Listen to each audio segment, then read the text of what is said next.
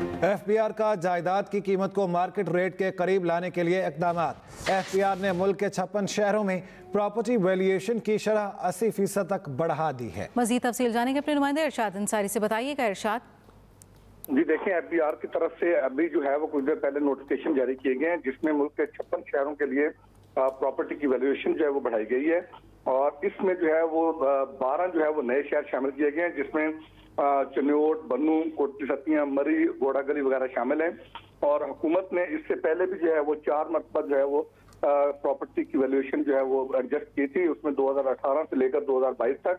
और अभी जो है ये पेंडिंग चली आ रही थी और आईएमएफ की तरफ़ से गवर्नमेंट को जो है ये कहा जा रहा था कि प्रॉपर्टी सेक्टर में चूँकि काफ़ी पोटेंशियल है तो इसमें इकदाम उठाए जाएँ।